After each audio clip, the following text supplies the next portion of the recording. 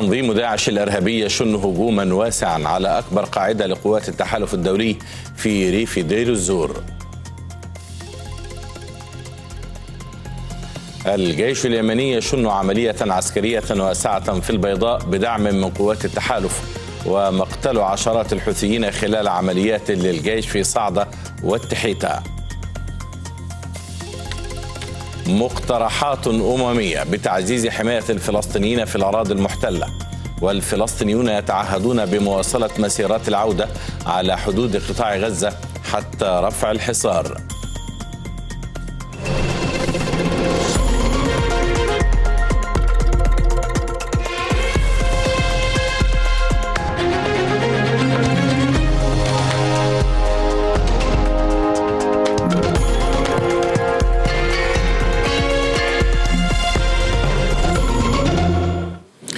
تحية لكم مشاهدينا الكرام ونرحب بحضراتكم في مستهل نشرة منتصف النهار من قناة النيل للأخبار هاجمت عناصر من تنظيم داعش الإرهابي أكبر قاعدة لقوات التحالف الدولي في ريف دير الزور شمال سوريا حيث هاجم ما لا يقل عن عشرين مسلحا من التنظيم القاعدة العسكرية التي تضم مطارا تستخدمه قوات التحالف الدولي إضافة إلى معدات عسكرية ضخمة وعدد من القيادات البارزة من قوات سوريا الديمقراطية.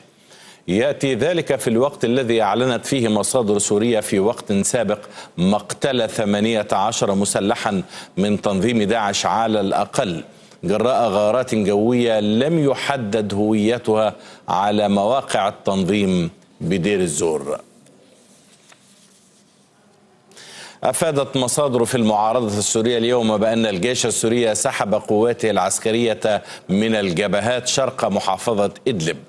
تزامنا انتشرت دوريات للشرطة العسكرية الروسية في عدد من المناطق بالمحافظة وتعد إدلب من المحافظات السورية التي تراقبها الأنظار الدولية والإقليمية على أنها المحطة الأخيرة التي سينتهي الصراع العسكري في سوريا من بعدها.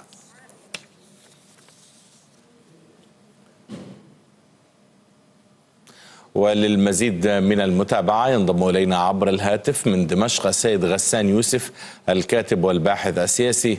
سيد غسان كيف يبدو الوضع الميداني مع شن داعش هجوما على قاعدة لقوات التحالف الدولي؟ بريف دور الزور.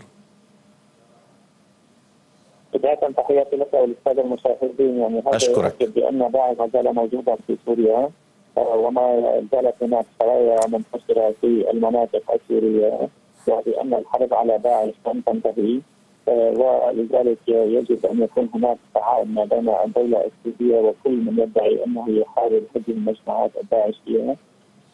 أعتقد بأن يعني اللي لم يكن جدا في محاربه داعش لو كان جدا في محاربه داعش انتهى. داعش منذ زمان. لكن الملاحظ بأن التحالف الدولي يتخذ من وجود سريعة للبقاء في هذه المنطقة. وطبعا الهجوم عندما يكون هناك هجوم لن يكون على قوات التحالف الدولية وإنما يكون على ابناء سوريا وعلى منشآت سوريا التحتية على البنيه التحتية السورية. التحالف الدولي كل ما يقوم به هو تدمير البنيه التحتية السورية. بحجة أنه يحارب داعش ونقص الكثير من الجسور من المصافي من المرافق من المنشآت الحيوية في المنطقة الشرقية. لاحظ يعني عندما قام التحالف الدولي بتحرير يعني ما تحرير الرقة اصبحت الرقة مدمرة يعني كمدينه لينينغراد أو يعني كما واستشهد بذلك الرئيس بوتين بينما كل المناطق التي نعم. يعني قامت قام الجيش السوري والجيش الروسي بتحريرها. لم نشهد هذا الدمار والتدمير الذي لاحظناه في الرقه ولذلك أقول لك بأن التحالف الدولي اليوم يعني كل يوم يتخذ ذريعه للبقاء في هذه المنطقة. طيب الجيش السوري سحب قواته العسكرية من إدلب ما الخطوة التالية لذلك؟ يعني هو سحب بما سحب يعني الجيش أو هو إعادة انفراد كثير الاماكن التي تستطيعها القياده العسكرية والرياضه العسكريه الدوليه والروسيه لمحاربه المجموعات الارهابيه في تلك المنطقة. مع يعني مع مع هذه المجموعات الارهابيه في منطقة الاجله القادمة هم الآن يتلقون دعما واضحا من التي تريد أن تحافظ على بعض المجموعات الإرهابية بحجة أن هناك معارضة معتدله وذلك أن يقول جبهه هيئه وطنيه للتحرير وغيره ولكن هذا لم ينفع تركيا شيئا. الروسي يعرف بان تركيا يراوغ ويقوم بخداع الروس وبخداع سوريا. ولكن تعرف يعني السياسة الروسية الهادئه التي تعتمد سياسه القدم وسياسه الهدوء وسياسه الشطرنج الماهر ولذلك أعتقد أن أردوغان يعني مهما حاول اللعب ومهما حاول يعني التخطي وراء الأشياء يقول أنه ليس له علاقة بتسيير طائرات الدرون وب يعني دعم المجموعات الارهابيه في المنطقة. وبتجميع الارهابيين الذين أتوا من اشتيشان ومن الصين ومن جمهوريات الاتحاد السوفيتي ومن أي مكان نعم. فإنه سيدفع الثمن أخيرا غاليا وتعرف ان اليوم تركيا ليست في الوضع الذي يستطيع أن يجابه العالم لأنها أصبحت اكبر داعم للمجموعات نعم. الإرهابية في جميع انحاء العالم وهو الذي يدعم تنظيم إرهابي وتنظيم الاخوان المسلمين يعني ثم تنظيم القاعدة ولو كان هناك عدالة دولية لاخذ نعم. اردوغان إلى محاكم العدل الدوليه أشكرك شكرا جزيلا السيد غسان يوسف الكاتب والباحث السياسي من دمشق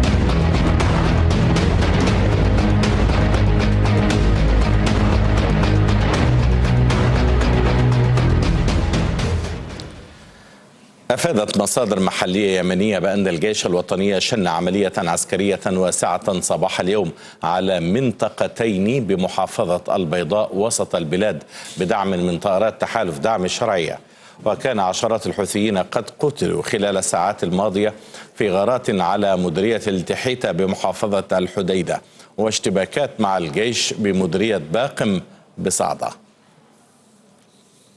بدأت قوات المقاومة اليمنية عملية عسكرية موسعة في محوري قانية وفتحة بمحافظة البيضاء بغطاء جوي مكثف من طائرات التحالف العربي حيث شنت أكثر من ثمان غارات ودمرت آليات ومعدات حربية للميليشيات بمنطقة اليسبل بقانية من جهة أخرى استهدفت طائرات التحالف في محافظة عمران معسكرا تدريبيا ومخابئ ومنصات صواريخ للميليشيات في جبل المسلوق على الحدود مع محافظة صعدة كما تمكنت قوات الجيش اليمني من قتل عشرين عنصرا من عناصر ميليشيات الحوثي في غارتين استهدفتا مركبات عسكرية للحوثيين في مديرية التحيتة بمحافظة الحديدة وأحبطت قوات المقاومة اليمنية محاولة لتسلل العناصر من ميليشيات الحوثي إلى مديرية التحيتة. يأتي هذا فيما قتل 31 عنصرا من عناصر الميليشيات الحوثية في اشتباكات مع قوات الجيش اليمني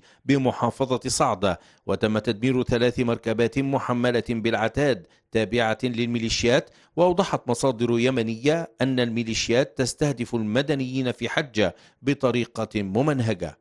التطورات الميدانية تتزامن مع دعوة جديدة وجهتها الأمم المتحدة للحكومة الشرعية والميليشيات الحوثية لحضور محادثات سلام بجنيف في السادس من سبتمبر المقبل من أجل بحث إجراءات بناء الثقة كخطوة أولى في طريق الوصول إلى حل شامل للصراع في البلاد وتخفيف المعاناة الإنسانية التي يعانيها الشعب اليمني.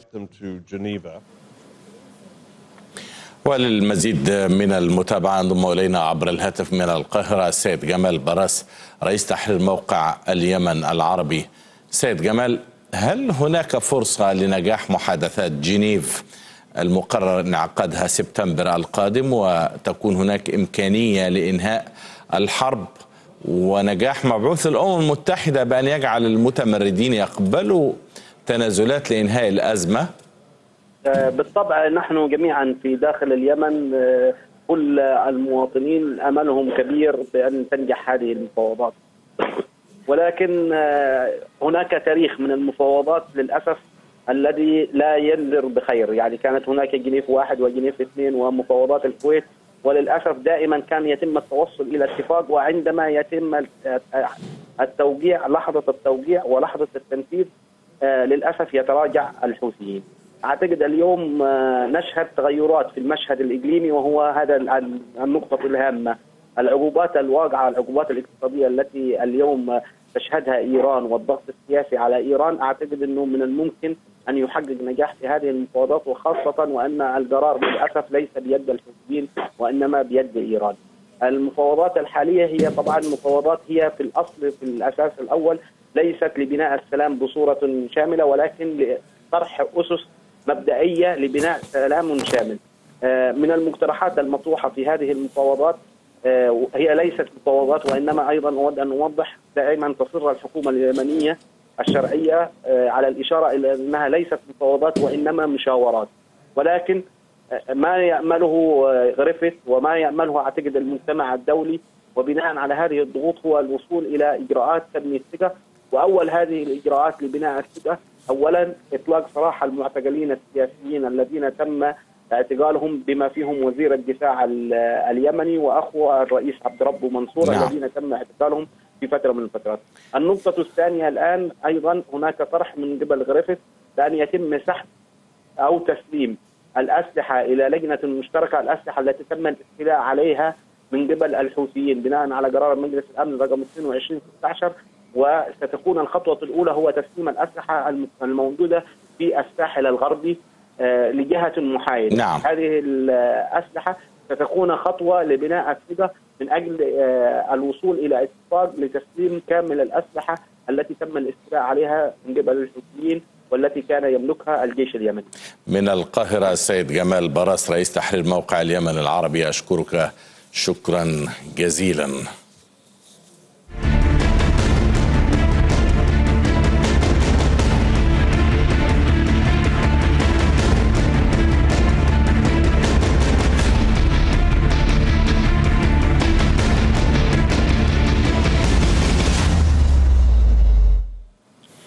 قدم الأمين العام للأمم المتحدة أنطونيو غوتريش أربعة مقترحات تهدف إلى تعزيز حماية الفلسطينيين في الأراضي المحتلة. وتشمل المقترحات نشر بعثة مراقبة مدنية وأخرى أمنية أو عسكرية وزيادة المساعدات الإنسانية والتنموية وتعزيز الحضور الميداني للمنظمة الدولية. وكانت الجمعية العامة للأمم المتحدة قد طالبت جوتريش بإعداد تقرير حول تطورات الأوضاع في الأراضي الفلسطينية المحتلة بعد موجة عنف حصدت أرواح 171 فلسطينيا في قطاع غزة برصاص قوات الاحتلال الإسرائيلي منذ مارس الماضي. أعلنت الهيئة الوطنية العليا الفلسطينية لمسيرات العودة استمرار المسيرات على حدود قطاع غزة حتى رفع الحصار مشيرة أن الجمعة القادمة ستحمل اسم جمعة الوفاء للطواقم الطبية والإعلامية. وكان فلسطينيان قد استشهدا وأصيب العشرات إثر قيام قوات الاحتلال الإسرائيلي بإطلاق النيران خلال مشاركتهم في أعمال وفعاليات للجمعية الحادية والعشرين من مسيرات العودة الكبرى. شهيدان وعشرات الجرحى في قطاع غزة على أيدي قوات الاحتلال الإسرائيلي حصيلة أولية للجمعة الحادية والعشرين من مسيرات العودة الكبرى التي كانت قد انطلقت في الثلاثين من مارس الماضي. تقارير صحفية قالت إن قرابة عشرين ألف مواطن فلسطيني شاركوا في احتجاجات الجمعة الحادية والعشرين من مسيرات العودة التي دارت على بعد بضع مئات من الأمتار من حدود قطاع غزة. الهيئة الوطنية لمسيرات العودة الكبرى كانت قد دعت للمشاركة بكل فعالية في المسيرات الممتدة على طول حدود قطاع غزة الشرقية مؤكدة استمرار المسيرات كمسيرات شعبية وسلمية لحماية حق العودة رغم كل المعاناة. ودأب الفلسطينيون على الخروج في مسيرات سلمية في قطاع غزة منذ الثلاثين من مارس الماضي تجاه السياج الفاصل بين قطاع غزة وإسرائيل ضمن فعاليات مسيرة العودة والتي بلغ إجمالي عدد شهدائها أكثر من 170 شهيدا إضافة إلى نحو 18 ألف جريح. وللمزيد من المتابعة ينضم إلينا عبر الهاتف من رام الله الدكتور أحمد رفيق عوض أستاذ الإعلام بجامعة القدس. دكتور أربعة خيارات قدمها غوتيريش تتطلب تعاون الطرفين لكنه لم يقدم توصيات محددة لتحسين حماية المدنيين الفلسطينيين ورفع الحصار. قراءتك لما توصل إليه غوتيريش؟ يعني آه، يعني طلب الحماية الدولية للشعب الفلسطيني بشكل مبدئي نرحب به تماما آه، ضمن ولكن أن يكون ذلك ضمن تسوية آه، كبيرة وشاملة تلقى الحد الأدنى من المطالب الفلسطينية. لكن أيضا اسرائيل حتى نضع الأمور في نصابها إسرائيل ترفض أي تدويل للقضية الفلسطينية، أي حضور دولي وإذا دخل أو يعني كان هناك حضور دولي في الصراع الفلسطيني الإسرائيلي فاسرائيل يعني تفرغ من مضمونه كما حصل في المراقبين الدوليين في مدينة الخليل. إسرائيل تريد أن تستفرد بها ان تحول الصراع الفلسطيني الإسرائيلي من صراع حقوق سياسية وحقوق طبيعية وحقوق تاريخية إلى صراع داخلي وبالتالي هي ترفض التدخل الدولي. لهذا السبب يعني نحن نرحب بأي تدخل دولي أي حماية دولية ولكن حتى يكون ذلك حقيقة أو على الأرض لابد من الضغ- الضغط على إسرائيل ضغط كبير وكبير جدا من خلال آه، تشكيل جبهة كبيرة تضغط على إسرائيل حتى تنصاع للقانون الدولي. ط- طبعا هناك تؤزم في عملية السلام يعني هل غوثيريش من الممكن أن يحدث تحسينا كبيرا في الأحوال الفلسطينية أمام سلطات الاحتلال أم ترون أنه يعني آه، حتى ولو تحسين جزء سيقبل به الفلسطينيون في هذه المرحلة آه، للأسف للأسف. ال- جوتيريش هو يمثل آه، الضمير العالمي إذا بدك القانون الدولي إذا بدك. ولكن أنت تعرف أن في مجلس الأمن هناك قوى على رأس الإدارة الأمريكية الحالية. آه، تقف أمام القانون الدولي وتقف أمام أي آه، أطروحات ومبادرات حقيقية تحقق الاستيلاء السلام والاستقرار. هذه الإدارة أول إدارة آه، تصبح جزء من المشكلة وليس جزء من الحل. بهذه الطريقة العلنيه تنحاز إلى ال- ال- المطالب آه، والادعاءات الإسرائيلية دون أن تكلفها أي ثمن وبالتالي ما يقوله غوتيريش ب- باعتباره يمثل الضمير العالمي أو القانون الدولي بشكل أو بآخر لكن أيضا في نهاية الأمر غوتيريش هو جزء من المنظومة الدولية اللي مهتزه والمنحازه إلى إسرائيل بشكل كبير جدا جدا. من رام الله الدكتور أحمد رفيق عوض أستاذ الإعلام بجامعة القدس أشكرك شكرا جزيلا.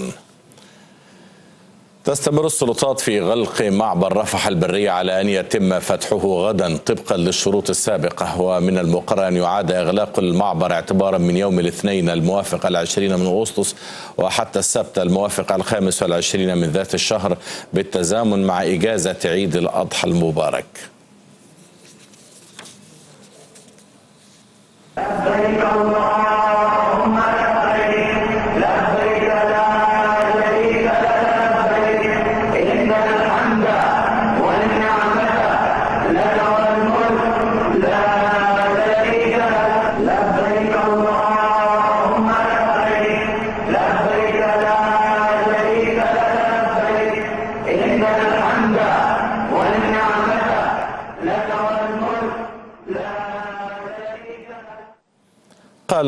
المستشار عمر مروان رئيس البعثة الرسمية للحج إن إجمالي الحجاج المترددين على العيادات الطبية بلغ 57083 شخصا. وتم صرف العلاج اللازم لهم موضحا أنه لا توجد زيادة في أعداد الوفيات. مؤتمر صحفي عقده رئيس بعثة الحج الرسمية للتعريف بآخر الاستعدادات لتصعيد الحجاج إلى عرفات والتي كانت محور تباحث رئيس البعثة مع وزير الحج السعودي في لقاء جمعهما سابقا. عرضت عليه أكثر من موضوع كان أهمها على الإطلاق موضوع تغيير مسار الحافلات التي تنقل السادة الحجاج إلى آه، طريق جديد يتم افتتاحه هذا العام. ممكن تحصل بعض الصعوبات نتيجة أن السائقين لم يستخدموا هذا الطريق من قبل. هو شكل نقطة اتصال تبقى على تواصل مباشر مع سيادة اللواء عمرو لطفي. لو حدث أي مشكلة لأي حافلة تنقل الحجاج يكون التواصل مباشرة بين السيد اللواء عمرو لطفي ونقطة الاتصال الخاصة بمكتب السيد وزير الحج للعمل على سرعة حل هذه المشكلة. بعثة حج القرعة بدورها أوفدت ضباطا إلى عرفات لمتابعة تجهيزات المخيمات مع المطوفين بما يضمن راحة الحجيج والأتوبيسات الخاصة بالتفويج ومنها ما هو مخصص لكبار السن. إحنا عملنا كشوفات خاصة بالحجاج في جميع الفنادق آه، كل فندق فيه اسم الحج في الباص الخاص بيه وموجود نفس الكشف فيه على الأتوبيس. آه، عملنا حاجة كويسة السنة دي. خصصنا ما يقرب من حوالي 50 أتوبيس لأصحاب الاحتياجات الخاصة وكبار السن. بمرافقيهم. ودول هيكون لهم أولوية التصعيد لعرفة. إن شاء الله. أنا بس كل اللي بطلبه من حجاجنا الكرام إن كل واحد يكون لابس كارت التعارف بتاعه وإسورة المعصم لأن في أفراد أمن معينة منا على أبواب المخيمات علشان تسمح بالدخول لهم فاللي مش هيكون لابس المرتدي صوره المعصم أو كارت التعارف مش هيسمح له بالدخول. وإحنا بنعمل كده علشان نمنع الحجاج الفرادى والحجاج من الخارج إن هم يستغلوا الأماكن بتاعه المخيمات لأن في المخيمات موجود كل مكان كل حج له مكان. وقبل التصعيد إلى عرفات الله أبدى الحجاج المصريون سعادتهم بالخدمة المقدمة إليهم حتى الآن. فنادق جنب الحرم قريبة من الحرم الحرم جنبك أهو. بالظبط 10 دقائق خمس دقائق تكون في الحرم. أنا بتمنى إن الناس كلها تطلع في السن الصغير ده لأن في متعة. وإن هنا الناس بصراحة مرتبة الشغل في الحرم وفي البلد شغل ما حصلش. الحمد لله يعني كل حاجة كويسة والفندق كويس. والخدمة كويسة يعني الحمد لله. وربنا يديها لكل مشتاق يا رب العالمين. بسم الله ما شاء الله حاجة كويسة جدا جدا وربنا يكتبها لكل مشتاق يا رب. ويبقى على الحاج المصري اتباع الإرشادات والتي من أهمها عدم اصطحاب أمتعة والالتزام بالمخيمات الخاصة به فقط. انتهت الاستعدادات لتصعيد الحجاج المصريين إلى عرفات الله ويبقى التنفيذ على أرض الواقع بما يضمن التيسير عليهم عند التصعيد وما يليها من النفرة إلى المزدلفة ومن ثم المكوس بمنى من مكة المكرمة. عبد الله بركات النيل. أكد اللواء عمرو لطفي الرئيس التنفيذي لبعثة الحج أن خيام الحجاج المصريين بعرفات جاهزة مشيرا إلى أن وزير الداخلية اللواء محمود توفيق يتابع يوميا أوضاع الحجيج للتأكد من توفير سبل الراحة كافة لهم خلال أداء مناسك. وكان وفد من البعثة الطبية المصرية قد شارك في الجولة التي نظمتها وزارة الصحة السعودية لجميع البعثات الطبية قبيل بدء مناسك الحج. قبيل ساعات من أداء ضيوف الرحمن لمناسكهم استكملت السلطات السعودية جاهزيتها للمستشفيات والمراكز العلاجية بالمشاعر بطواقمها الطبية والتمريضية كافة. أكثر من ثلاثة آلاف سرير ما بين رعاية مركزة وغسيل كلوي وأقسام للداخلي. تم تجهيزها للحجاج كافة. البعثة الطبية المصرية قامت بجولة تفقدية مع المسؤول الصحة السعودي للوقوف على مدى جاهزية تلك المراكز العلاجية. جميع المستشفيات الأربعة الموجودة في عرفات والأربعة الموجودة في منى إضافة إلى 77 مركز رعاية صحية أولية في مشعر عرفات ومشعر منى. كذلك ست مراكز رعاية صحية أولية في خط المشاة في مزدلفة. جميعها جاهزة الآن. لدينا أكثر من 31 ألف ممارس صحي في في مكة المكرمة من كل مناطق المملكة يشاركوا في حج هذا العام. لدينا أكثر من 111 سيارة إسعاف ميداني. مستشفى الطوارئ بمنى فيها 28 سرير إجهاء ضربات شمس 24 سرير إجهاد حراري 34 سرير عناية مركزة 8 6 أسر عزل سالب.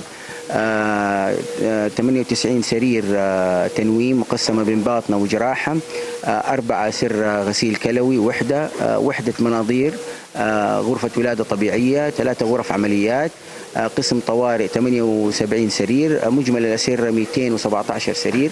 مستشفى الطوارئ بمنى تعتبر العمود الفقري في مشعر منى غرفة تحكم مركزية وإدارة للأزمات لمستشفيات المشاعر كافة وتتبع لخط سير سيارات الإسعاف.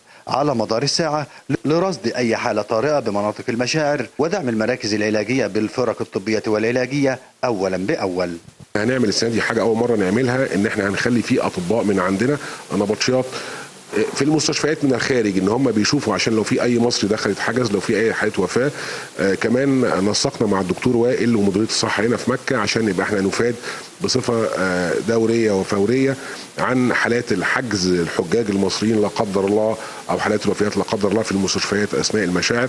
آه، طبعا إحنا جينا هنا غرفة التحكم والسيطرة بنشوف التجهيزات ال- يعني الكبيرة جدا اللي موجودة عشان وهو هنا قاعد في الغرفة بيبقى شايف كل مستشفياته وكل الأسرة اللي فاضية وكل عربيات الإسعاف وكل الترددات في المستشفيات. خدمة طبية على أعلى مستوى.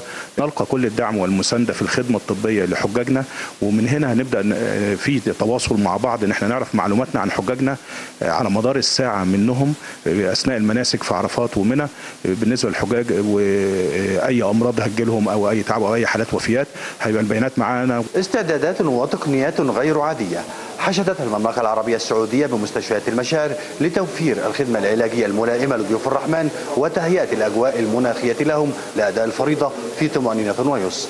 من غرفة الأزمات بمستشفى من الطوارئ محمد حلمي النيل.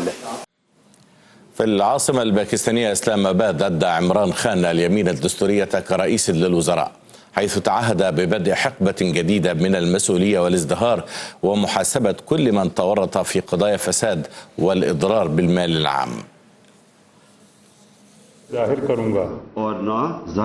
بكل ما أملك سأؤدي مهامي وسأقوم بمسؤولياتي بكل أمانة بما هو في مصلحه ووحده وتماسك ورفاهيه وازدهار باكستان.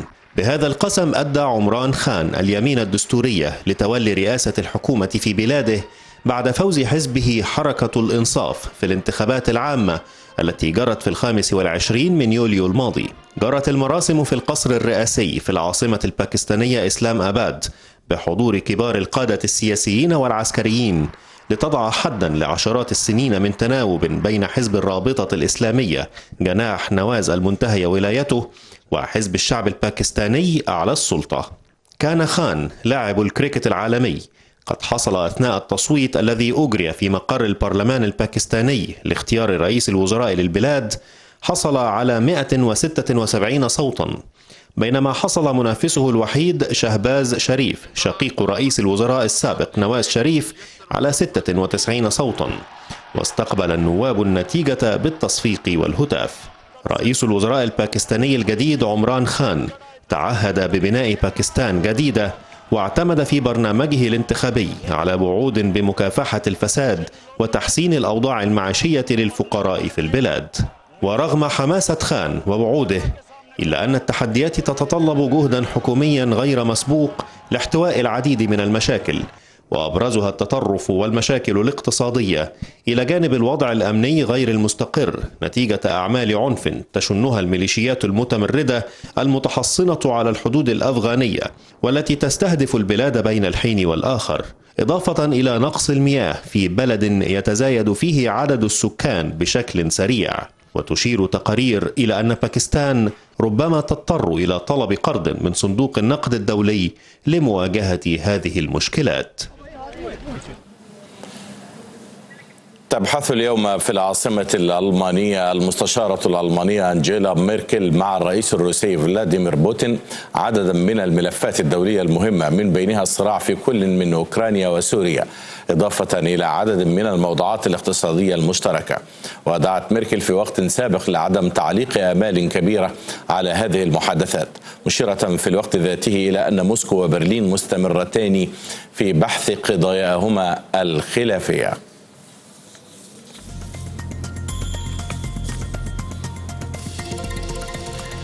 هذه النشرة متواصلة مع حضراتكم وفيها بعد النشرة الاقتصادية. وفاة كوفي عنان الأمين العام السابق للأمم المتحدة.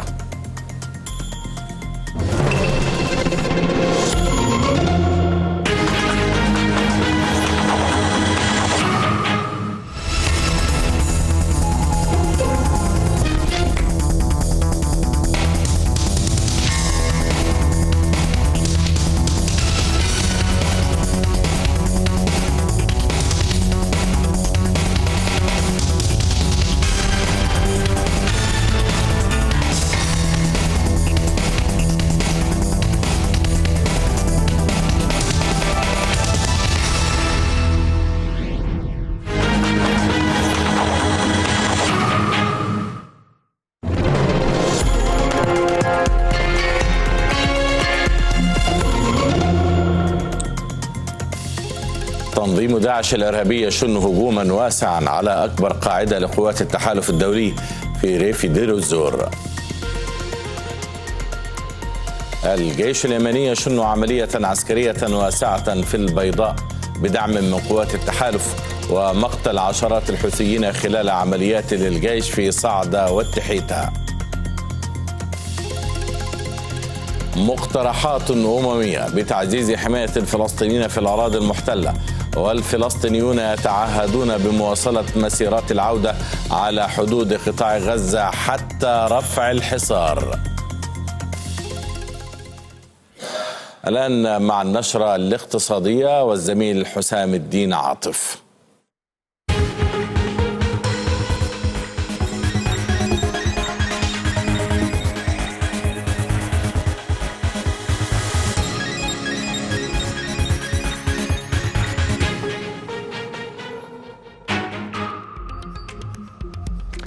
أهلا بكم مشاهدينا الكرام إلى باقة اقتصادية جديدة. أهم ما فيها. وزير البترول يؤكد أن تعديل قانون الثروة المعدنية يستهدف لمواكبة استراتيجية التنمية المستدامة لمصر.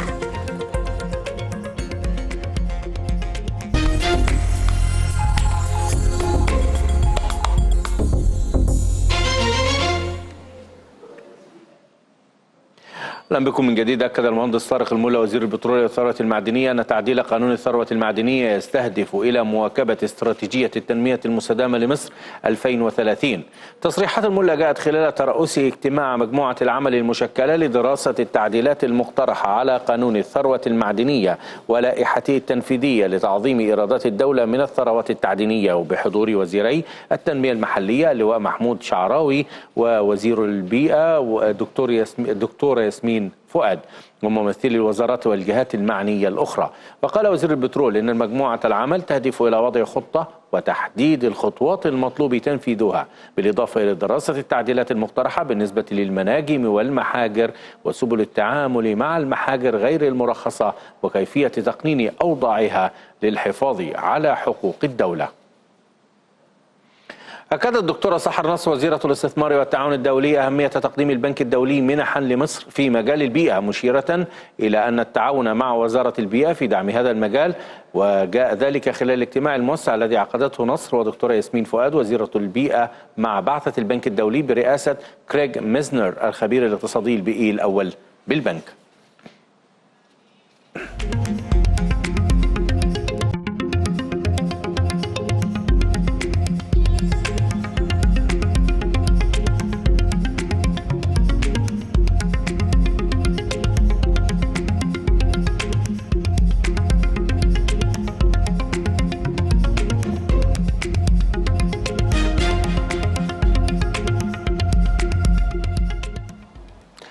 بلغت قيمة الدعم المنصرف للأسر المستحقة في برنامج الدعم النقدي المشروط تكافل وكرامة عن شهر أغسطس الجاري مليارا و111 مليون جنيه ل 2.25 من 100 مليون أسرة تضم أكثر من 10 ملايين مواطن.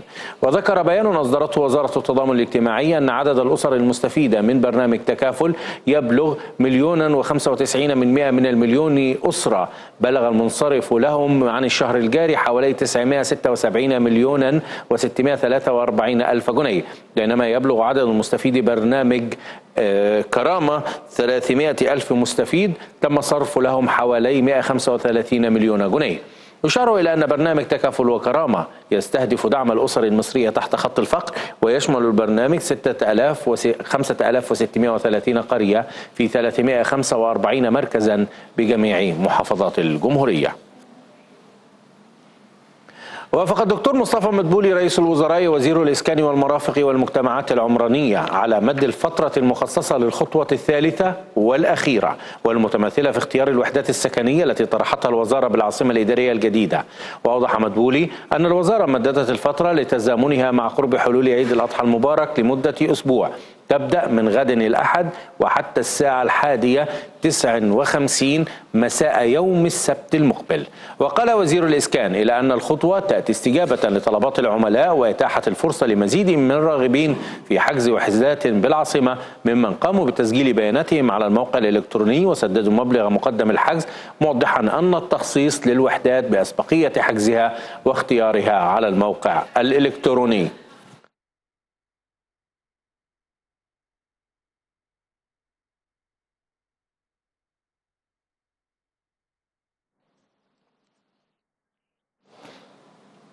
وقعت وزارة التخطيط والمتابعة والإصلاح الإداري ومحافظة سوهاج وقع اتفاقا إطاريا بشأن مشروع تطوير وتحسين الخدمات المقدمة للمواطنين بالمحافظة وذلك في إطار دعم برنامج التنمية المحلية بصعيد مصر.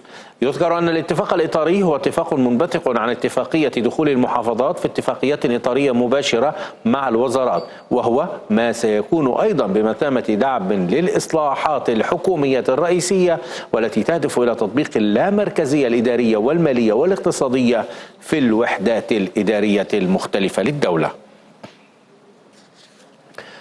خفضت كل من وكالتي ستاندر بورز وموديز للتصنيفات الائتمانية التصنيف الائتماني السيادي لتركيا إلى درجة أعمق مع توقعات أن ينكمش النمو الاقتصادي العام القادم. وخفضت ستاندر بورز درجة واحدة إلى plus B وأبقت على النظرة المستقبلية عند مستقرة في تحرك جاء بعد أن خسرت الليرة حوالي 40% من قيمتها أمام الدولار الأمريكي هذا العام. ومن جهة أخرى خفضت وكالة مودز لتصنيفها الائتماني لتركيا إلى BA3 من BA2 كما غيرت النظرة المستقبلية إلى سلبية. مودز أوضحت أن تجديد الأوضاع المالية في تركيا وضعف سعر الصرف من المرجح أن يغذي زيادة في التضخم وأن يقوض النمو الاقتصادي هناك. مشاهدينا الكرام بهذا الخبر أنهينا وقفتنا الاقتصادية في بانوراما الثانية عشر وعوده مرة جديدة لدكتور علي مبارك بعد الفاصل.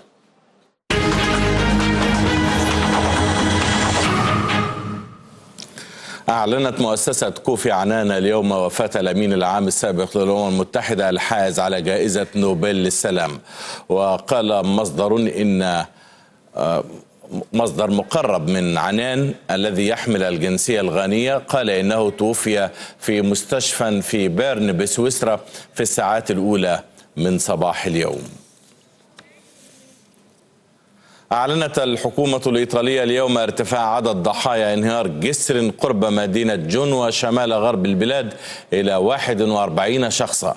يأتي ذلك في الوقت الذي نظمت فيه مدينة جنوة جنازة رسمية بحضور كبار المسؤولين لعدد من ضحايا حادث انهيار الجسر. وقد أعلنت الحكومة الإيطالية إلغاء امتياز الشركة التي قامت بإنشاء الجسر. في الوقت الذي اقترحت فيه الشركة بإعادة بناء الجسر على نفقتها كتعويض مؤقت عن الأضرار الناجمة عن الحادث. ضرب زلزال بقوة 6.2 من عشرة درجة على مقياس ريختر جنوب كوستاريكا قرب الحدود مع بنما. ولم ترد أنباء حتى الآن عن وقوع أضرار في أي من البلدين. واعلنت هيئه المسح الجيولوجي الأمريكية أن مركز الزلزال يبعد 19 كيلو مترا شمال ميناء جولفيتو الواقعه أقصى جنوب البلاد. وأضافت أن الزلزال وقع على عمق 10 كيلو مترات فقط تحت سطح الأرض. حذرت هيئة الأرصاد الجوية الهندية من هطول أمطار غزيرة في ولاية كيرالا الواقعة في جنوب غرب البلاد في أعقاب الفيضانات الغير مسبوقة التي شهدتها الأيام الأخيرة منذ مئة عام. وأسفرت عن مصرع 324 شخصا على الأقل. وتشارك نحو 30 مروحية عسكرية و320 زورقا في عمليات الإنقاذ حيث تم حتى الآن إنقاذ الآلاف بينما لا يزال نحو ستة آلاف شخص محاصرين.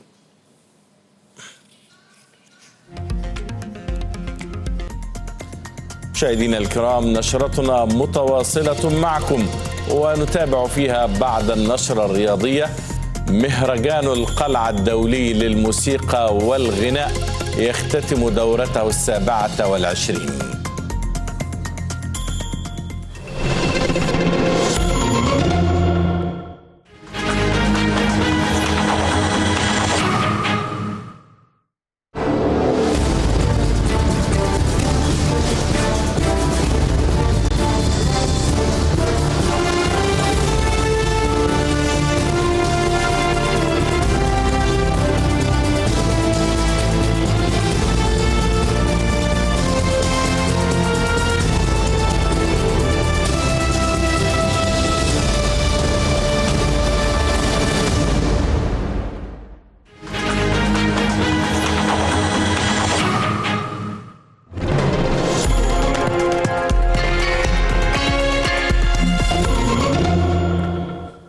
بعد الفاصل النشرة الرياضية والزميلة آلاء حامد.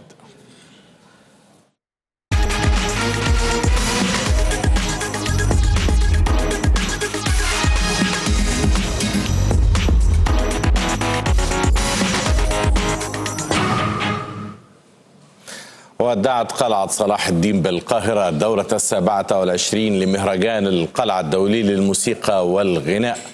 وذلك بعد أسبوعين من الحفلات المتواصلة التي لاقت إقبالا جماهيريا كبيرا. اختتمت دار الأوبرا المصرية فعاليات مهرجان قلعة صلاح الدين للموسيقى والغناء في دورته السابعة والعشرين بمشاركة نجوم الفن والغناء الذين أبدعوا في تقديم الفقرات الفنية المتنوعة. إحنا ركزنا السنة دي على إن يبقى في أكتر من تنوع آه، فرق أجنبية فرق شبابية فرق استعراضية نجوم كبار لاول مرة كانوا يبقوا معانا في مهرجان القلعه يتحقق بفضل الجمهور المصري العظيم. حسبنا آه، عملنا عملية رصد سريعة جدا آه، من خلال ال 16 يوم بتوع المهرجان. وجدنا إن أكثر من 100 ألف مواطن مصري حضر هذا المهرجان. وختاما لليالي وسهرات المهرجان الساحرة قدمت فرقة العريش للفنون الشعبية بعض الرقصات الفلكلورية والأغاني التراثية المستوحاة من البيئة البدوية والطبيعة السيناوية أنا النهارده الحمد لله رب العالمين هغني بالبدوي يهيصوا معايا هغنوا بال- بالشامي يهيصوا معايا غنيت بال- بال- باللهجة العربية الخفيفة. الحمد لله لقيت في إقبال جامد من الجماهير. إحنا كان شرف لينا طبعا إن إحنا نبقى إحنا ختام للفرقة النهارده وان إحنا الفرقة اللي بيختموا بيها وجميع المحافظات وال... وكل الدول اللي إحنا بنروح بيها بترحب بينا وبيبقى جميع يعني استقبالهم كويس لينا يعني. الفنان مدحت صالح قدم باقة من أروع ما غنى والتي مزج فيها بمجموعة من الأغنيات القديمة التي عايشها الجمهور منذ أن بدأ مشواره الفني. نحاول نعمل أغاني مختلفة باذواق أذواق مختلفة يعني بحيث إنه نلبي رغبات الشباب والكبار. النسخة السابعة والعشرون من مهرجان القلعة الدولي للموسيقى والغناء ذخرت بالعديد من الفقرات الفنية والموسيقية المتنوعة التي استمتع بها الجمهور على مدار أسبوعين كاملين.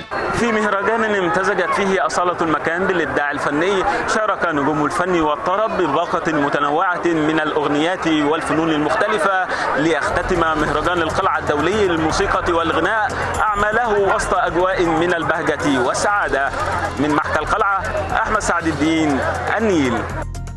وختاما هذا تذكير بأبرز عناوين النشرة.